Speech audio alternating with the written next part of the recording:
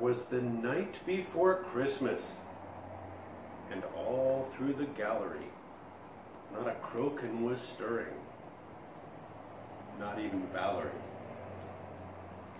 Let's see what I did there. I put crokin and Valerie. Um, the stockings were hung by the chimney with care in hopes that St. Nicholas soon would be there.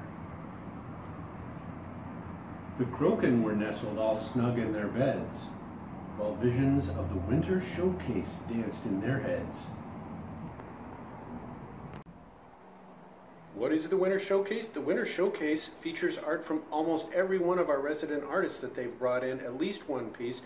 Many of them have brought uh, several pieces in for the Winter Showcase. That'll be going now through the end of December.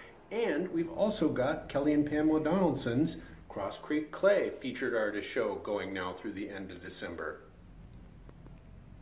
So when people think about their holiday shopping needs, they should of course think of Ten Oaks. You think of Christmas tree, think of the oak tree in Ten Oaks for all of your holiday shopping needs. Fine art makes a great gift for everyone on your list and a price point for everyone on your list as well.